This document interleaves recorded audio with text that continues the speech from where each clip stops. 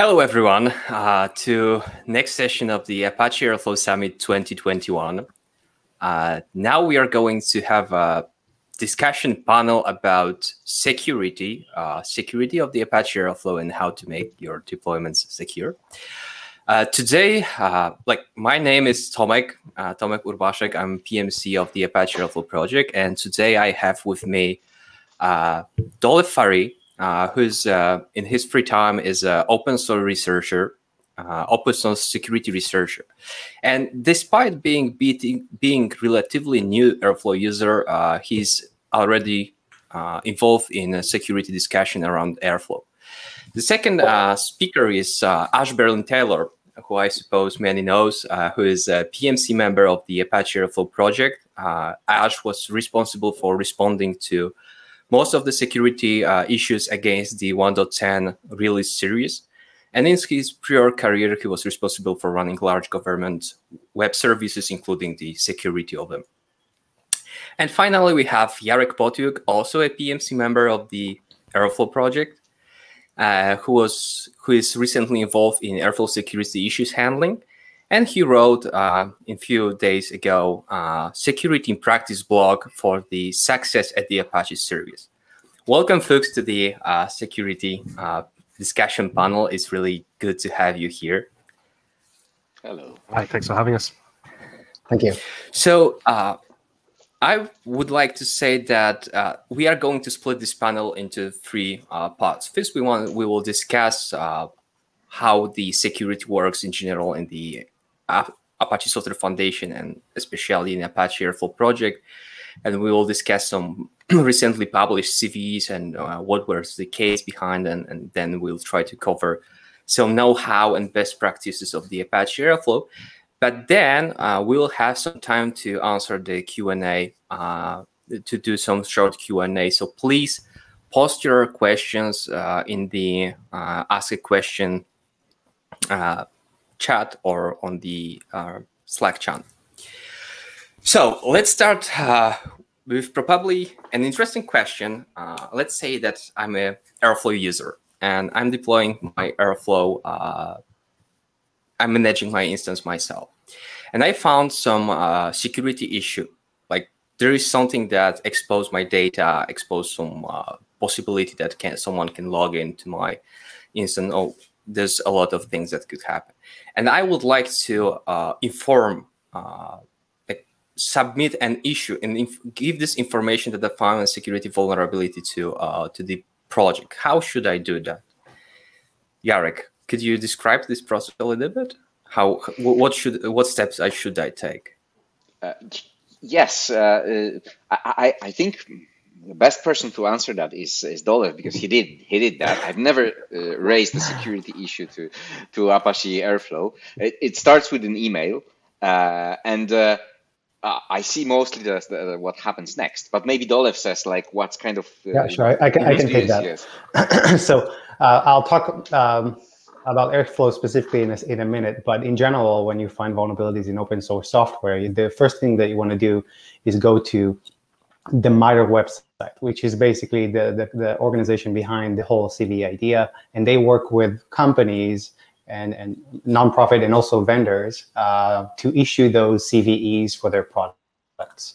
So if you go on the website and you look for, say, Apache, you will see Apache being a organization that is uh, what's called like a like an authority uh, uh, issuing like a, basically a CVE issuer uh, that is authorized to uh, assign CVEs for their products. So that's the first thing that you would do. You don't even need to necessarily go to the Airflow website to figure that out. But even on the Airflow website, there's a dedicated like security page that basically tells you exactly what you need to do when you find something that is of a concern. So the first thing that you do is, is basically reach out over email, and then the whole uh, triage process is happening on the other side, and that's where the Airflow team is kind of taking over. So uh, maybe I will just Thank add you. to mm -hmm. that. The super important part is that uh, most of the security issues should be reported privately. So you don't tell about that everyone like in a public security public uh, github issues or discussions uh, just report using the process which uh, which maintains the privacy or the uh, like the, um, you don't tell everybody else because if this is disclosed, it might pose a danger for uh, for others that somebody will ex exploit it. So this is like super important to follow the process and and just not to tell everyone, even if uh, this is this is basically pretty much any uh, pretty much everything in Apache Software Foundation is uh, is publicly available except this except this is like one of the very few exceptions. Uh, the discussions about security issues should be kept private as long as as possible. Okay, so the flow is that I honorable mm. I I think we're losing Tomek. Email. Uh, am I or not? Uh, we we we've lost the question uh, because you were disappearing. Okay. Yep. Okay. Uh, so I will I will repeat. So uh, so the flow is that uh, that's where I should report the uh, and then I report this issue. I probably should put some information. There can be a form to I believe uh, in the Apache on the Apache page. And what happens next? Like, is every security vulnerability addressed, or we somehow evaluate them, or it's just like everything is accepted? What What are the next steps that are not visible to uh, to not to people not being a PMC or security uh, from the Apache Air Software Foundation. Ash, can you chime in? Yeah. So um, we get a we the the PMC get a get an email from passed on from the security team at Apache. They do a kind of cursory pre-filtering, um, and it's then up to us as the PMC to decide how to handle it. So often that will either be one of two cases. Either it's a bug in our code, in which case we'll kind of look at it and go, yeah, this is a security vulnerability, and we'll kind of work start working on a fix or discuss a fix. The other thing that happens fairly regularly, um, particularly in the world of open source, is that the vulnerability is actually in a dependency of ours. Um, most commonly, it's somewhere in the Fab stack, the Flask application builder, um, because web you know, web has lots of vulnerabilities. If you there's just so many easy, so many ways you can make silly mistakes that can make you vulnerable. Um, so it's like either it's already patched and we just need to update, or we go like, yeah, sorry, that's a bug. You have to go tell Project X. Um, for the ones which we handle ourselves, um, we're kind of we'll sort of reply back to the, the original poster going, yeah, that, that sounds like a bug. Um, and here's the CVE that Apache have allocated. Um, how would you like to be credited when we disclose it? We then go through, get that um, fixed. Um, so that will, you know, that change will land onto the main branch. We'll then most likely, almost certainly, in fact, backport that, cherry pick that to our release branch for the current release. So right now, that's the 2.1 release series um, go through the kind of normal dance of getting released, released and tested. And then once it's released and people have had a chance to update, that is the point that we disclose the CVE and we pu- publicly tell people there's a vulnerability, you should update to 2.1 point, well, one's the current version. There weren't any CVEs in that, but you get the idea. Mm-hmm.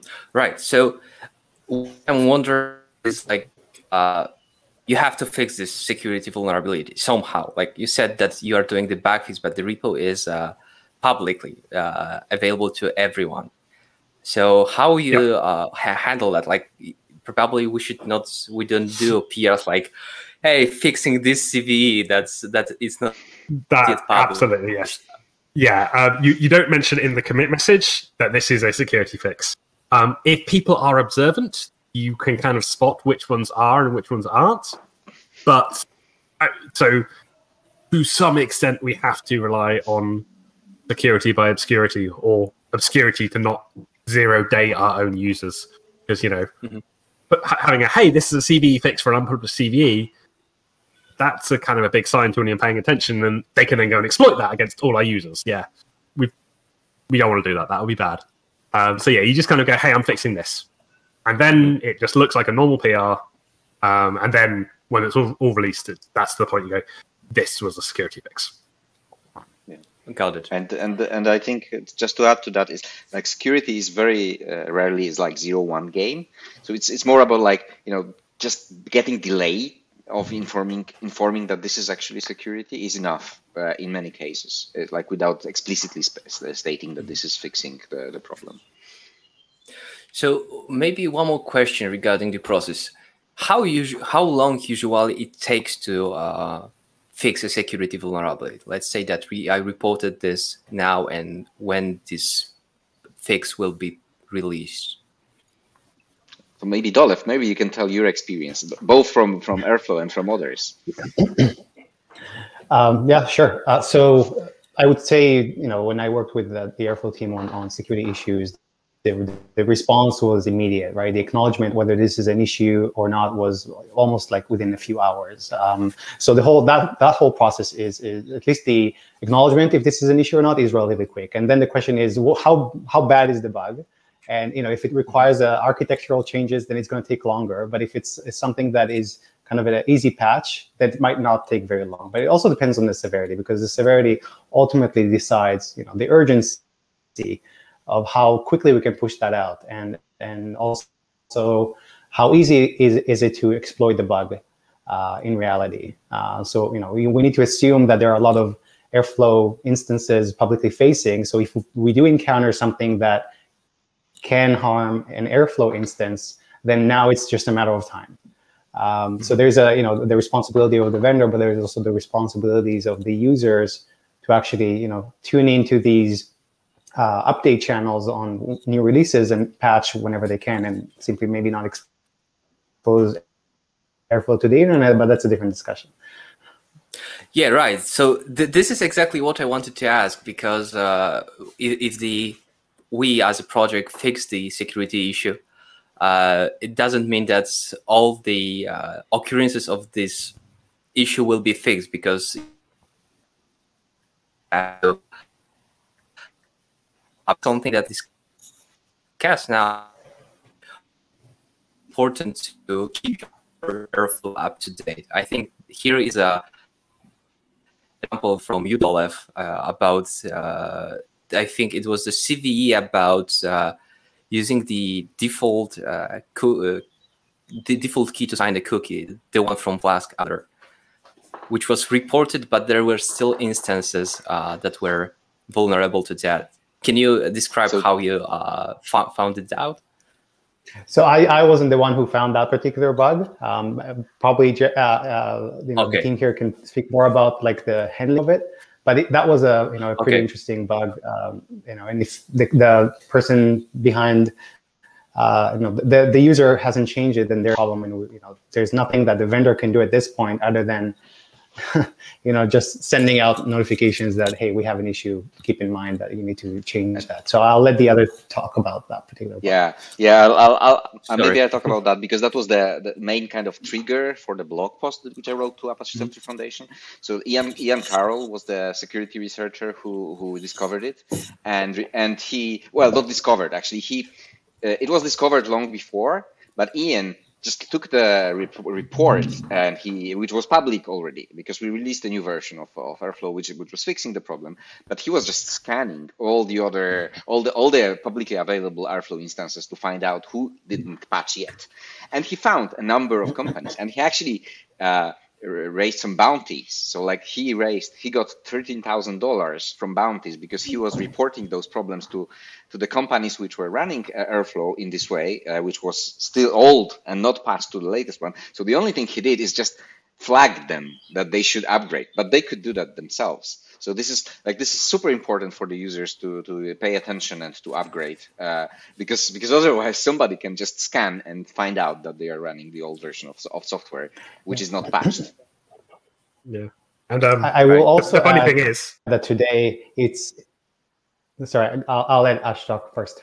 Um, it was just a point. So when, when that when that vulnerability came up, um, it was some point in 1.10, I think. Yep. Um, and it was kind of like an oh my god moment of like this is really bad.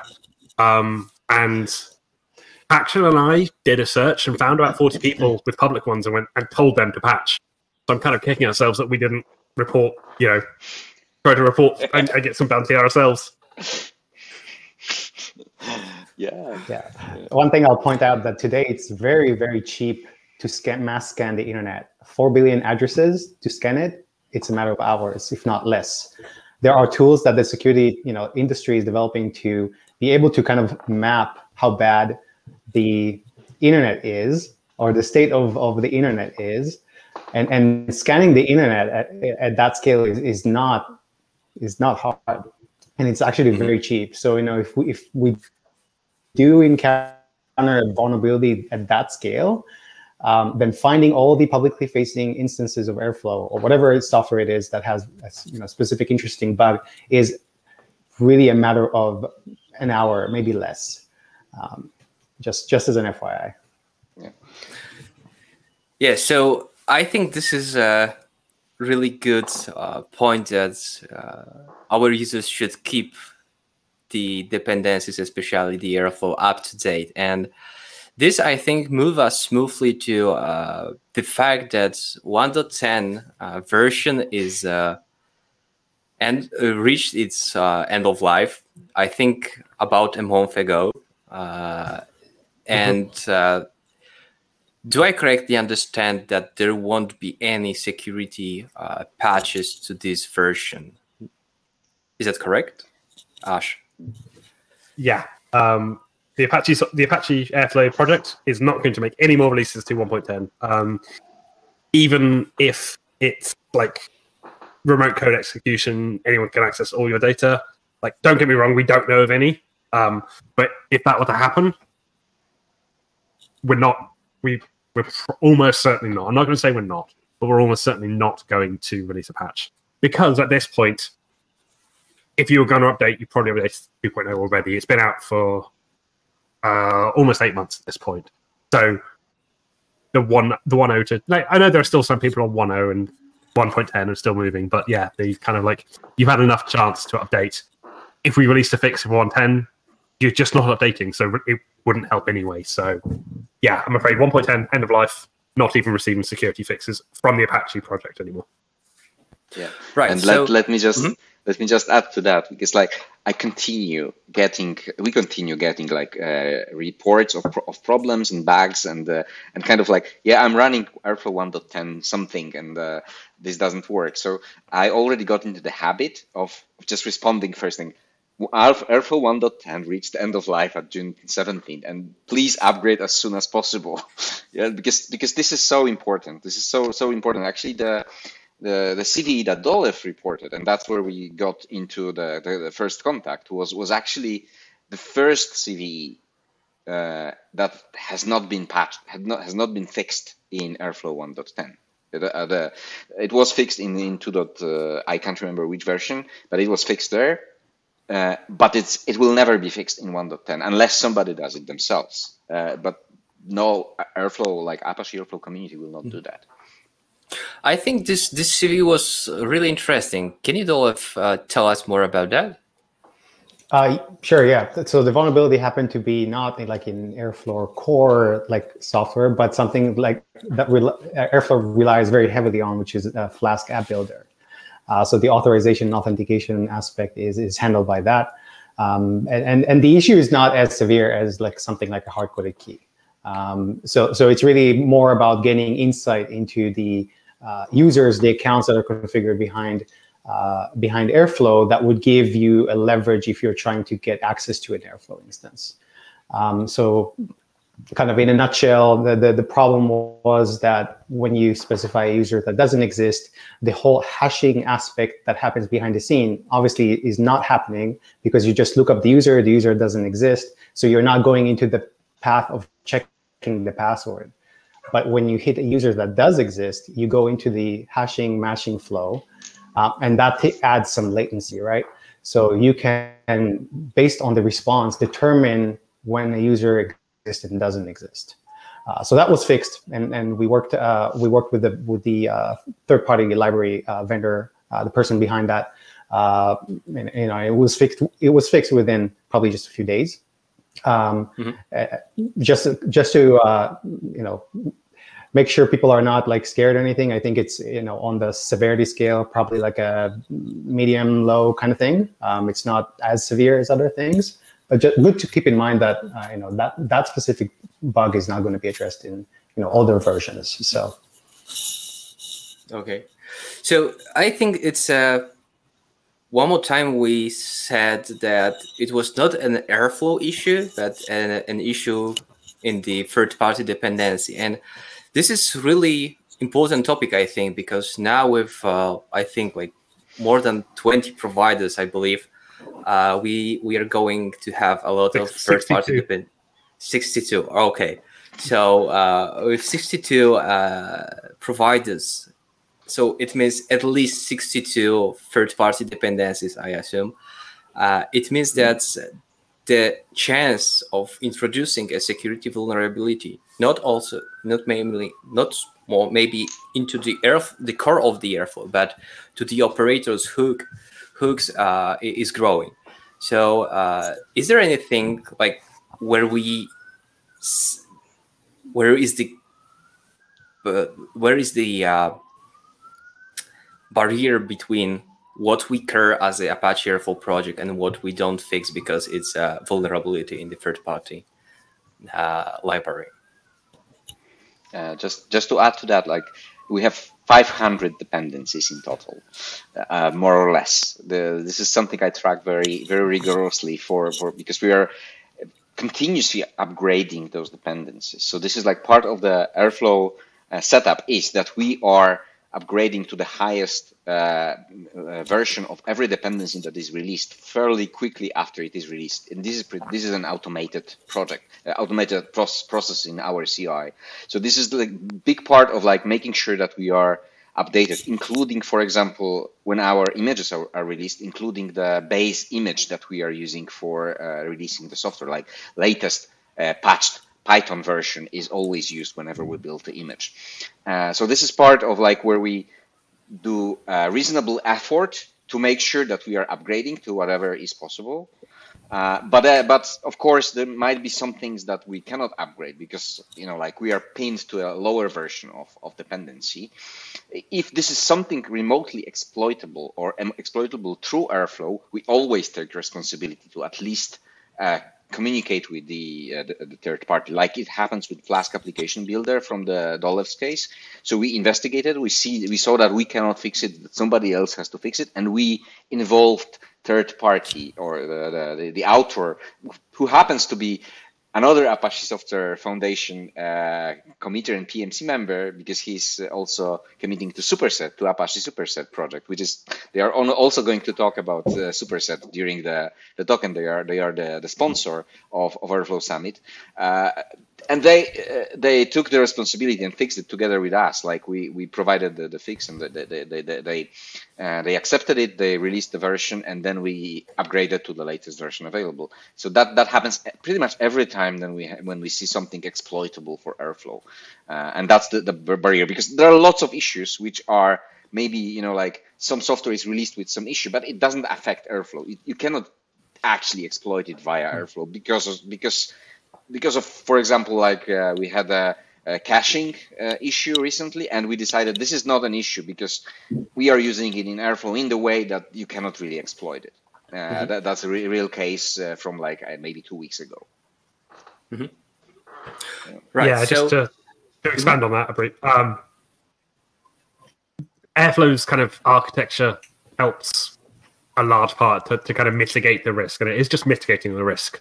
Um, like we can't guarantee it, but so the fact that the the web server now doesn't load any DAG codes, which means it doesn't even import any of the any of these dependencies. Just don't get imported. So kind of like from from Airflow 2.0, the read everything from the database instead of parsing the DAG files mitigates the risk because the the attack surface for the for the bit that's exposed to the web, either you know privately or publicly, is greatly reduced. Um, but yes, it's just kind of generally a supply chain problem or supply chain attacks in open source software is a hard and unsolved problem. Um, mm-hmm. yeah.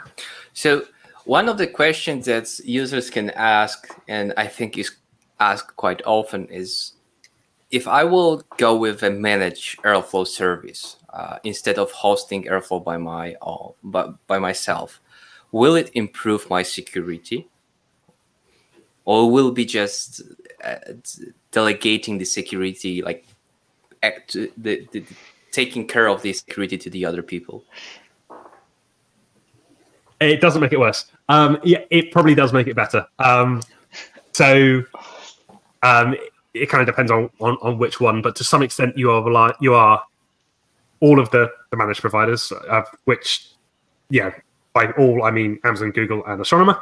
Um, they all kind of have their own kind of images or distribution, kind of, yeah, they all have versions of Airflow which they manage that base layer of security for you, make sure that it stays up to date, make sure that there are no known kind of vulnerabilities. So yes, by using a managed one, you have some of that burden taken away from you. Um, you can't abdicate all responsibility. Um, Amazon kind of famously one of their security policies is kind of like shared responsibility. So it's like we'll manage the base layer, but like the top level, what's running inside it and what your application does, that's up to you. Um, where that line is drawn for you know managed airflow is slightly less clear, but it's still Amazon or Google or Astronomer take care of some of that for you.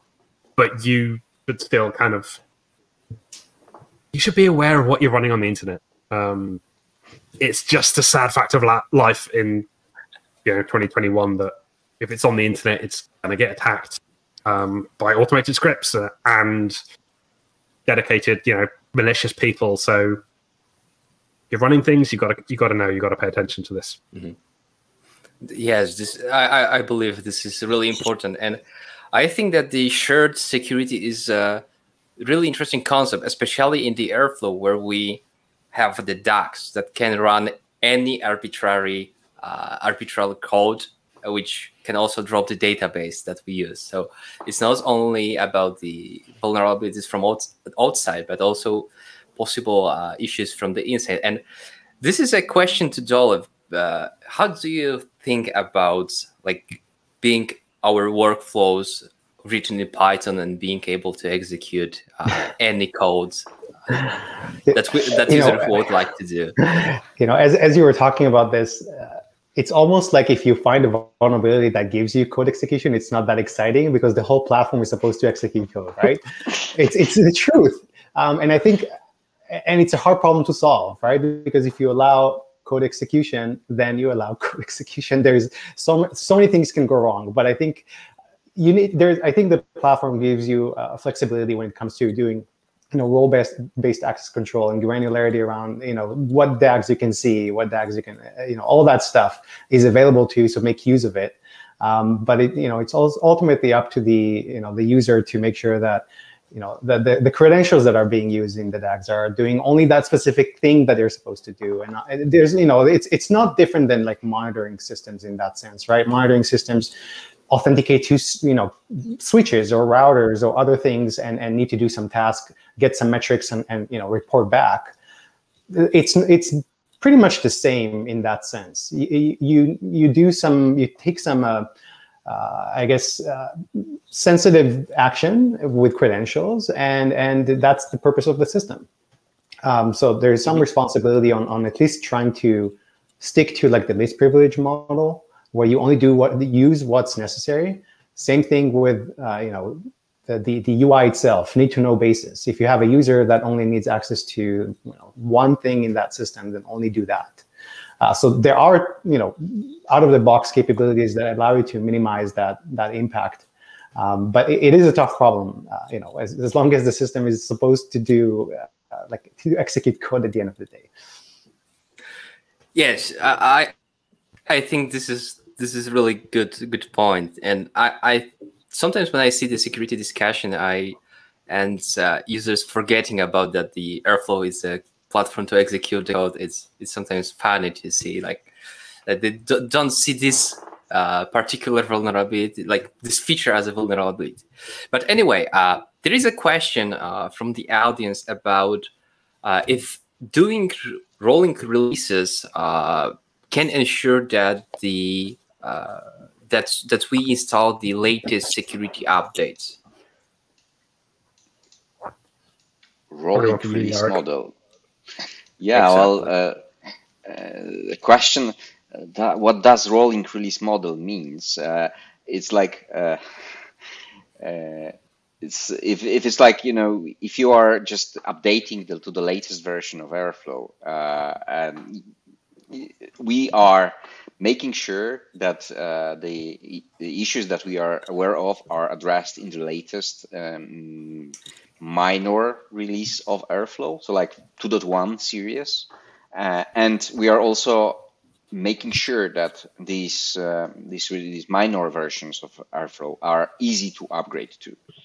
And and you should just do that just just just update as soon as possible because then you will be mm-hmm. sure that uh, that security is at the highest possible level that we know about right now mm-hmm. so uh, so if that was the question about the rolling release model um, okay. I, th- I, think also if you could explain about the constraints file, that's probably a useful follow-on to that point, file. So, you know, what we do there to manage things.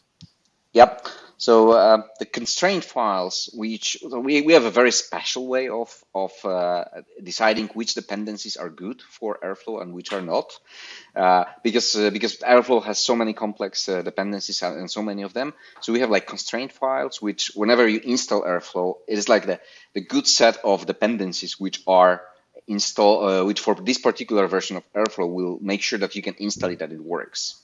But those constraint files are not limiting you. So you are not limited to those versions of, of dependencies. You can always upgrade to the higher versions of, of those dependencies. So especially when there is a new uh, dependency release which fixes security vulnerability, you don't have to wait for a new version of Airflow. You can you can upgrade those dependencies uh, on your own. And Airflow has limitations like like what it allows to upgrade, but it doesn't constrain you to this or doesn't limit you to this particular version that it, it was installed initially. So this is this is a, a, good thing that if you're maintaining it on your on your own and in, on premises, then you can you can easily upgrade all the dependencies on your own, depending how you do it uh, in in general for all your software. Mm-hmm. So many companies have their own uh, versions of like how they are maintaining and how they are upgrading the software. Mm-hmm. Yeah. Here, I think it's worth to mention that with uh, adoption of 2.0 version of the Apache Airflow, uh, the Apache Airflow project decided to follow the sem uh, semantic versioning releases, which means that updating from the minor to minor version should be smooth. Uh, that doesn't didn't have to be the case in case of 1.10 uh, branches. So here, I think it's really really important to remember about that uh, because being up to date is much more easier done uh, than a year ago. Yes, uh, okay. we are very ser- very serious about backwards compatibility into uh, series. So basically, anything we release into should be backwards compatible. There might be bugs, which uh, regressions, which we will fix afterwards. But if if they are changing the behavior, then we will fix them in the follow up following releases. So so you, you should expect that things do not, uh, the new things will appear, but the old things will not disappear or will change. So here is a related question. Uh, how often the breaking changes occur in, in Apache Airflow project? By uh, intentional breaking changes, um, 2.0, and the next ones will be whenever we decide to release 3.0. There will not be any breaking changes that we know about um, before Apache 3.0. Um, one person's bug fix can be another person's breaking change. So it's never a clear cut, this is a breaking change or a bug fix. Because if you're relying on the current behavior and we change it because it's fixing a bug, have we fixed the bug or have we broke something? But like big scale breaking changes, that's you know that we do by design. That will be whenever we release um, Apache 3.0. We're following Semver, so it's that simple. When will that be? Um, let, my talk next week. and uh, okay. just to add to that, just to add to that, because you mentioned before the, the providers we have. So we ha- we have actually mm. 60 or 70 now providers, and then those providers themselves then can they can have breaking changes. It doesn't change airflow, doesn't make introduce breaking change to airflow, but also you can upgrade and downgrade those providers separately. So so you don't have when you upgrade uh, just provider or just airflow, you, you you can you can go very freely between the different versions. So, so you will have some breaking changes in the operator's integration with external services, but not in the Airflow itself. And you can still upgrade Airflow to latest version and keep the older version of providers with a few exceptions, uh, maybe in the future, but generally speaking, you should be able to keep the old version of providers and new version and, and latest version of Airflow with all the security fixes. Mm-hmm. So it's very, very flexible actually, and very uh, kind of fine grained. So you can you can you can either go full on and upgrade everything, or you can fine grainedly upgrade only parts that, that that you really need to, or you know that there is security vulnerability in them. Okay, there, there was also the question that we uh, answered at the beginning of the talk. Uh, the question is, uh, what is the policy for for disclosing newly newly discovered vulnerabilities? Would it hurt uh, the project if they were released to the public without notifying Apache prior? Uh, so as we discussed this at the beginning, the answer is yes. It would uh, it would hurt our community because the vulnerabilities should be reported privately uh, so we can take uh, correct action to fix them without disclosing them uh, before the uh, fix for, for the issue.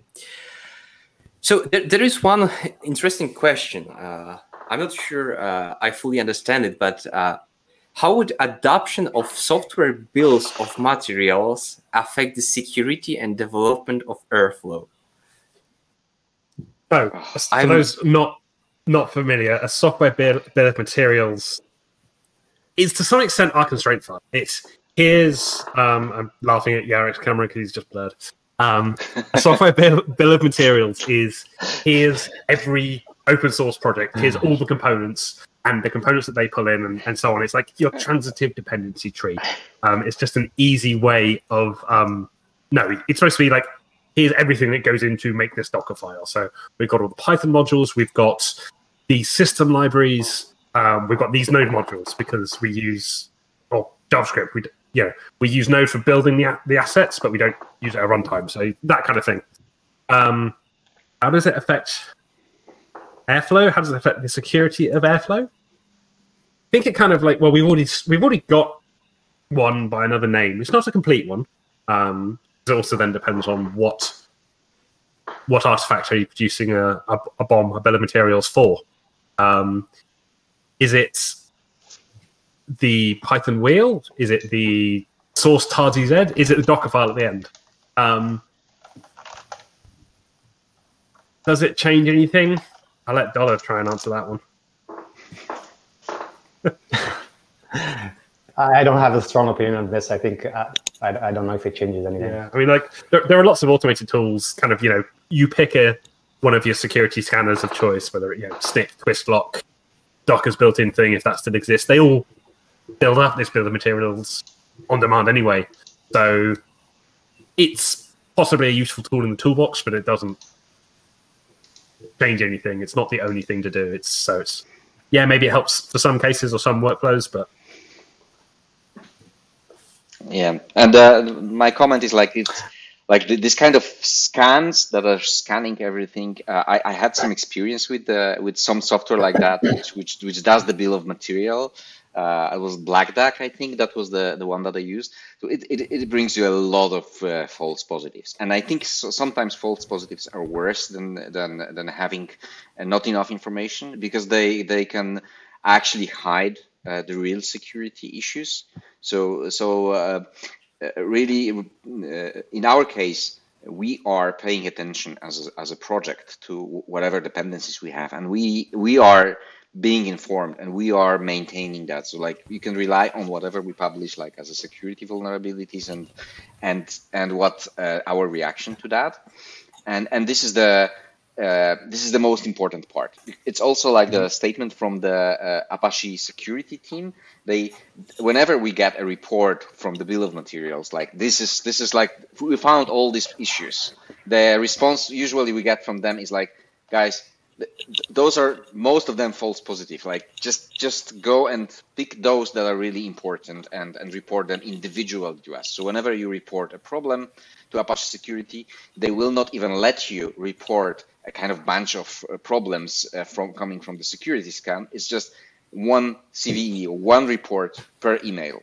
And, and that, that that actually is, is a very good idea. I, I think that the just to add on that, I think uh, like for a company that let's say just adopted Airflow and they want to experiment with it, and the security team is like doing their due diligence and run a bunch of scanners at, at Airflow, right?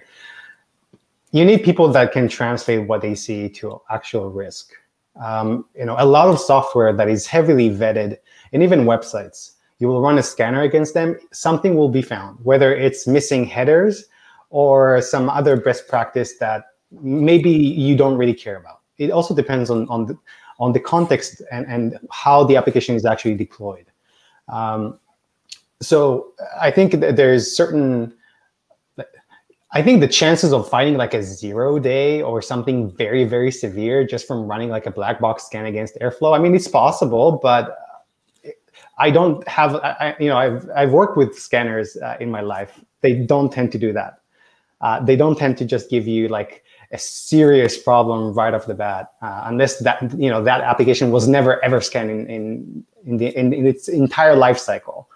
Um, so, you know, the, the low hanging fruit, I would say, I mean, it's worth raising. There's no reason why you shouldn't raise it. Worst case, it gets, you know, kind of dismissed like, hey, we, we don't care about that or you know i think that the security person on the other end also needs to like acknowledge kind of do like a self-assessment. Is it actually risky? Yes or no? And then decide on whether to report. I think it's good to report if you have a doubt and you're not sure and you need to get like another opinion on it.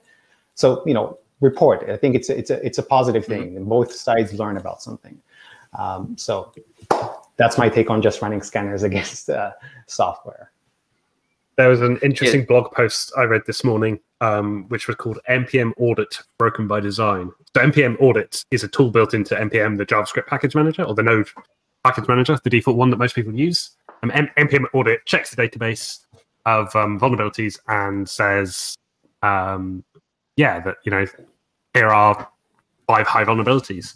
Um, it is just on by default, but it, you end up with kind of alert blindness because it says you if you run create the, the React create React app React app um, kind of helper thing, it tells you you have five high vulnerabilities and they're all false positives. There's like it what like three of the like two of them are the same and the other three are um, uh, regular expression denial of service kind of resource consumption things. Like that doesn't apply in this context because I'm running it locally. And like this is the kind of problem with automated tools, uh, which is context matters a lot, and automated tools just can't can't tell that. So yeah, um, I've dropped a link to that blog post in the Slack channel already. So talking about security scanning, uh, one application of them, uh, which can be quite interesting, I'm not sure if valid, but would be to run them on CI, for example, for the new DAGs uh, that are deployed by the users that doesn't have to be security experts. Would that be a valid approach? Do, what do you think, Dolev? I think that I think it's an interesting idea, uh, like a linting DAG and, and kind of figuring out best practices. I think that's something that I mean I think it would provide value. Uh, the the credentials that are being used, maybe a, a linter won't do much telling you know to tell you like, oh, you're using higher permission than you should. Maybe you know that's a little bit like a different approach. Maybe I don't know. Maybe it is possible. I think there could be value in, in, in auditing, and I think a DAG should be you know peer reviewed, just like any other thing in, in, that you do. Um, same with the credentials that are being used. Um, but I think just following best practices, I think I see an opportunity there to like build some kind of a custom linter to tell you about something that you should maybe you should do something different. Um, but I'll let yeah, the the uh, I'll let you guys kind of talk about whether you think that there are you know best practices that can be enforced this way. Yeah, I, I think so. Uh, the, there, are, there are class of problems that can be very easily detected. Like, for example, like committing a, a, a, private key into the repository. So this is something that GitHub already does, or, or is they are trying to do automatically. Uh, because then there are like number of people scanning all the GitHub repositories and trying to find out the, the, private keys. So they are trying to prevent that from happening. And and this is actually very very cool. And those those ideas are, are cool. And, and and those classes of problems are a number of the, those that you can you can you can detect. But don't try to to overdo it. The, the peer review is, is, is the important part because because it's uh, it's so easy to you know sneak in some things that you will not be able to detect so so peer peer review, uh, having a, another eyeball uh, before things go into the branch, which is actually deployed to Airflow. This is this is this is great thing that that should happen always. Mm-hmm. Yeah. There's a uh, pipeline project called mm-hmm. Bandit, which does some of these simple checks. Um, I've seen it, I've never used it. So if you want to try something out, look at that project. It may do some of this for you. Right. So I, I fully support that. Probably the best way would be to have a good code review uh, to see that if if not.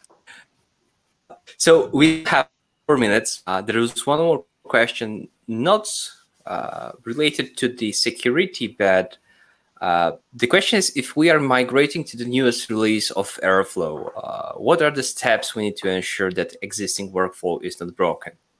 Any best practices? well, we have the whole the whole set of uh, you know upgrade to 2.0, migrate to 2.0 uh, walkthrough basically, and even tools, which I think Tom, Tomek, you you wrote a big part of it, which checks if the if you are ready for migration to to to, to the zero. Uh, and I, I think it's just to just follow it. Like we spent enormous time of the community to prepare this kind of migration and uh, and prepare for for migration and make sure that it's as painless as possible. Mm -hmm. From my side, I would add that probably a multitude of the issues, especially with hooks and operators, could be mitigated if we have more users testing uh, the code before releasing, uh, not only being the consumers of them, but also the active uh, community members. But anyway, we have two minutes left. I'm really happy uh, that you were my guest. Uh, I believe it was really an interesting discussion. Uh, thank you uh, for your time. Uh, I believe that users will, the attendees will still be able to ask you questions on the Slack. Uh, so uh, thank you one more time and see you probably maybe next year. yeah. Bye. Thank you very much. And just one, one so thing much. from me, just one thing I would like to add, upgrade mm -hmm. to Airflow 2.0 and 2, 2 and 2 plus. Yeah the latest version. This is this is super important. Like really mm-hmm. you are on your own. And just one thing to add as well like the the the benefit of managed services for airflow uh, is is also like that there are some slas that those managed services have and they can upgrade uh, and uh, update uh, security fixes on their own they're not from community so if you are on those managed services just follow what they tell you in terms of like okay this is this is like you must upgrade now because we will not provide any more security fixes as well. But if you're on your own, upgrade to, to, to right now because you won't be able to cope with all those security fixes, which you will have to fix yourself pretty much. Right. So the message is upgrade to 2.0. Uh, 2 1 even now. 2.1, 2.1, 2.1. 2.1. Yeah. I think the message should be updated to the latest version of the Apache version, uh, Apache Airflow. Uh, so we have one more session for today, uh, and we are about to play it. And please stay, uh, stay us, stay with us to watch uh, the upcoming session. Thank you, and see you. Thank you, everyone.